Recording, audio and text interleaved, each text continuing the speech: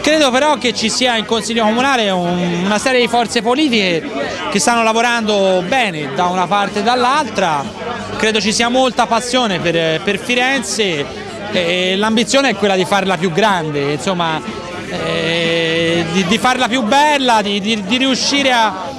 a, fare, a, fare, qualcosa per i fiorentini e per tutti coloro che vengono a Firenze. Ecco